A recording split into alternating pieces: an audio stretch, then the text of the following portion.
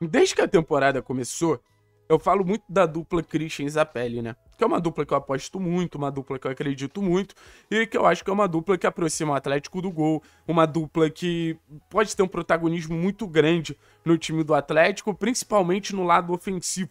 São jogadores que naturalmente têm obrigações defensivas, vão contribuir defensivamente, mas têm muito a contribuir ofensivamente pela qualidade que eles têm e podem ser considerados até protagonistas na formação do time do Atlético. Vocês acham que esse vídeo tá errado? Que essa capa ou esse título tá errado sobre Christian Zapelli? Não. Porque essa frase, essa análise, essa avaliação, ela é sobre Christian Zapelli, mas ela pode ser tranquilamente sobre Godoy e Lucas Esquivel. A dupla de laterais argentinos que entrou no jogo contra o Operário e literalmente mudou a partida, que fez o Atlético um time muito mais consistente, fez um Atlético um time muito mais coerente na hora de atacar sabendo utilizar os lados do campo, atacando bem por dentro, criando muito mais oportunidades, tendo um jogo muito mais fácil. É uma dupla que não vinha atuando com tanta constância. O Godoy com alguma dificuldade de assumir essa posição, até pelas escolhas dos treinadores. O Esquivel ainda num processo de sente uma dorzinha aqui, tem a questão da pubalgia ali. Mas a gente viu o impacto e a influência que esses jogadores eles podem ter no Atlético. A gente está falando de dois jogadores de um nível muito alto, jogadores extremamente seguros defensivamente. Só você perceber a quantidade de duelos que tanto Godoy quanto o Esquivel ganharam na tentativa de contra-ataque do time do Operário. Basicamente, o Operário não nos assustou e são jogadores que, assim, eles têm que ter essa noção defensiva, já que fazem parte da linha defensiva. A gente vem de temporadas onde os laterais têm muita presença ofensiva, até porque em muitos momentos a gente joga com três zagueiros. O próprio Cuca ele falou que existe a possibilidade de jogar com três zagueiros, mas enquanto isso não acontece, eles ainda fazem parte dessa última linha, dessa linha defensiva, e entregaram defensivamente uma consistência muito boa. O Godoy ele fez uma cobertura numa bola que o Thiago Heleno dá mole ali, impressionante. O Esquivel também não deixou passar absolutamente nada. Mas a realidade é que o que mais impressionou foi a chegada à frente. Até mesmo no último terço. Então, é mais ou menos sobre isso que a gente vai falar o que o Atlético ganha com essa dupla e por que eles não podem sair do time titular. Lembrando, rapaziada, a KTO é patrocinadora desse canal e eu vou sugerir um negócio para vocês. Você que gosta de passar o domingão no sofá vendo jogo de futebol e quer ganhar uma graninha, sempre com responsabilidade, aponta seu celular para esse código da KTO que tá aqui, esse QR Code, vai te direcionar direto pro site da KTO. O cadastro é muito fácil, você usa o cupom 3 pontos e ganha 20% de bônus no seu primeiro depósito para você brincar em campeonato alemão, campeonato inglês, campeonato paulista, campeonato carioca, campeonato paranaense. Porque hoje tem outra semifinal e eu tô sabendo que tem muita gente que vai apostar no Maringá. Então, fica aí a dica. Lembra de usar o código 3 pontos que me ajuda muito, muito, muito. Eu acho que é, é, importante a gente falar dos dois, mas acho importante passar um panorama geral. Por que eles foram tão importantes? Porque eles fizeram o Atlético atacar com mais gente. Não tem muito segredo.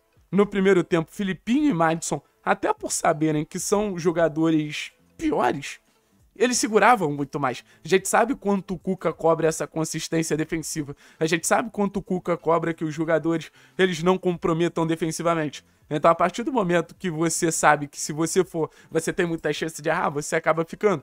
Então, muitas vezes no primeiro tempo, o Atlético atacava com dois, três, quatro jogadores porque, e acabava tendo uma inferioridade numérica ali, porque você não tinha o apoio dos laterais. Madison subiu muito pouco, o Filipinho menos ainda. No segundo tempo, o Cuca bota o Julimar, até para dar um apoio ali ao Godoy, proteger o Godoy defensivamente e ajudar ele na construção ofensiva. Em muitos momentos o Julimar até veio por dentro, Canobre vindo por dentro para deixar o corredor realmente para os laterais, um movimento que ele já fazia desde o Atlético Mineiro e acabou mudando os dois laterais, né? Sai o Madison, entra o Léo Godoy, algo que a gente já vinha pedindo aqui no canal, e sai o Filipinho improvisado e entra o Lucas Esquivel.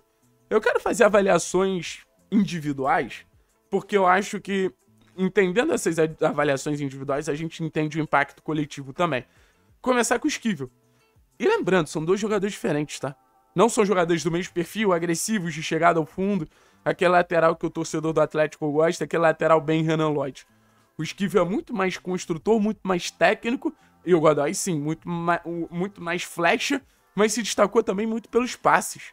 Vou começar pelo Léo Godoy, porque eu não sabia disso, assim. Eu via um jogo ou outro do Estudiante, mas me impressionou muito a capacidade dele construir olhando o jogo de trás. Me impressionou muito a capacidade do Léo Godoy de, de ver os acontecimentos e fazer essa bola chegar quebrando uma, duas linhas. Então, assim, com 10 minutos, o Godoy já tinha dado dois passes impressionantes. Inclusive, uma das chances que o Atlético perdeu foi uma chance que o Godoy dá o passe, o Maestrani só amortece a bola, deixa o Julimar na cara do gol. Então mostra que o, que o Godoy pode ser esse cara de chegada mais à frente. Em muitos momentos estava ocupando esse último terço, como eu já tinha falado para vocês antes dele chegar, como um verdadeiro ponta, um jogador de ocupação ofensiva mesmo, mas um jogador que também pode qualificar essa saída de bola, pode qualificar esse processo de construção. Jogador muito inteligente para fazer essa bola chegar no lugar certo no momento certo, temporiza muito bem, acelera e desacelera, em alguns momentos tentando essa jogada em paralelo com o Julimar, né, já que o Godoy era o primeiro da linha, tentando fazer chegar um pouco mais à frente na linha com o Julimar, mas eu acho que o Léo Godoy ele traz um, um, um sentimento de tem mais um cara ali extremamente técnico, muito bom, assim. Porque o Matos é um jogador de muita força física. A bola cai no Godoy, você vê o refino, você vê o toque diferente, você vê como ele tá preparado para te apresentar algo a mais. Ou pelo menos para dar sequência em jogadas. A gente subvaloriza muito a capacidade dos jogadores de dar sequência em jogada. Acho que quando você tem um jogador que pode dar sequência jogada, você tem que valorizar muito esse jogador. A pior coisa é bater no jogador e, e a jogada não sair. E o Godoy, esse cara. E já o Skiff eu acho que foi até melhor, cara. Sendo bem sincero com vocês. Acho que o Esquivel foi mais técnico, teve lances mais plásticos, defensivamente muito consistente. E lembrando, o Esquivel participa do gol. A jogada que sai, o escanteio que depois se desenvolve, o cruzamento ali do Kaique Rocha pro Pablo, é uma jogada que o Esquivel faz o que quer um atacante Guilherme. Traz para cá, traz para lá, traz para cá, traz para lá. E um Esquivel com muito mais liberdade para chegar à frente, um Esquivel com muito mais facilidade para chegar no último terço do que tinha na temporada passada. A gente lembra que o Esquivel na temporada passada era um, lateral, era um quase que um zagueiro. O Esquivel tava soltinho, atacava, já tinha feito uma jogada extremamente bonita, botando para cá, botando para lá, botando para cá, botando para lá, entrando na área, cruzando. O Julimar finaliza extremamente mal, mas um jogador muito mais presente no campo de ataque e no mesmo esquema que o Godoy. Um jogador qualificado, um jogador que fazia o jogo acontecer. O Atlético chegava no campo, no campo ofensivo pelos lados e, e, e tinha coerência a jogada, tinha início, meio e fim ou devolviam para o centro para seguir o ataque ou aceleravam no momento exato, como eu falei, gerando jogadas de perigo, jogando as principais, gerando as principais jogadas no Atlético, gerando volume ofensivo. O Atlético estava todo momento atacando, os dois pressionando bem, recuperando essa bola já no campo de ataque. Então, assim, uma partida que mostra que são dois titulares. Uma partida que mostra o grau de influência desses caras. Lembrando, o Christian fez até uma partida melhor, o Zapelli nem tanto, mas eu quero ver esses quatro jogando juntos. Eu acho que com esses quatro jogando juntos, a gente vai ter muita gente para atacar por dentro, muita gente para atacar por fora. E, e, assim, um quarteto atrás do centroavante de muita qualidade. O Esquivel interagindo ali com o Zapelli, o Christian interagindo mais que o Godoy, a tendência é que a gente tenha um retorno muito maior. Que a gente tenha um protagonismo desse quarteto nas chances criadas pelo Atlético muito maior. Lembrando, foi um jogo que o Atlético finalizou até mais do que a goleada contra o Londrina por 6 a 0 Então, assim, foi um jogo que, principalmente no segundo tempo, a gente teve um volume ofensivo, a gente teve muitas chances criadas. E o que, que aconteceu diferente no primeiro tempo, segundo tempo? Exatamente, a entrada desses dois laterais. Muito influentes, jogaram muito bem e acho que dá para afirmar com tranquilidade. Titulares absolutos.